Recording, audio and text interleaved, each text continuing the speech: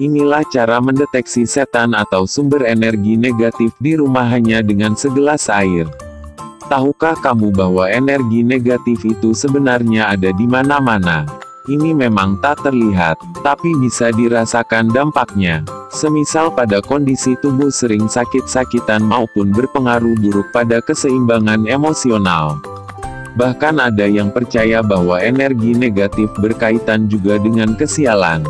Rezeki mampet, keluarga tak harmonis, kerap marah tanpa sebab serta tingkat stres meningkat. Kabar buruknya, kamu tak bisa menghilangkan sama sekali energi negatif tapi bisa menguranginya sehingga tak berdampak buruk. Dan kabar baiknya, kamu bisa mendeteksi keberadaan energi negatif ini dengan cara yang sangat mudah dan sederhana. Seperti inilah cara mendeteksi sumber energi negatif di rumah hanya dengan segelas air. 1. Siapkan gelas kaca berwarna bening tanpa ornamen apa pun. 2. Isilah sepertiga gelas dengan garam laut di lapisan dasar. 3. Lapisan kedua isilah bagian 2 per 3 gelas dengan cuka sari apel kualitas tinggi atau cuka putih. 4. Selanjutnya bagian ketiga sisanya diisi dengan air murni. 5. Tempatkan gelas ini di tempat yang dicurigai sebagai sumber adanya getaran energi negatif. 6.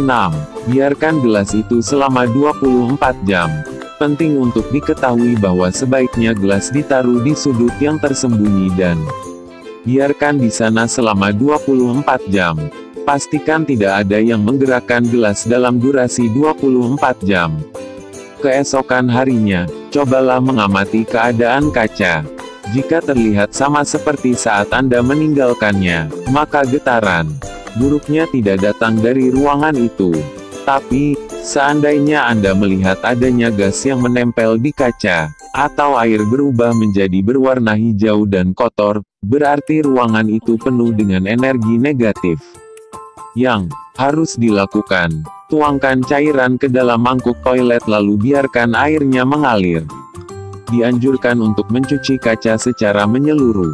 Selain itu, kamu bisa mengulangi teknik yang sama jika perlu. Namun, jangan gunakan gelas yang sama lagi. Setelah beberapa saat, kamu akan merasakan energi positif di rumah Anda. Sekian tips dunia gaib untuk mengusir setan dan hawa negatif di rumah kamu. Jangan lupa klik subscribe dan juga like, dan juga bagikan agar bermanfaat untuk orang lain. Terima kasih.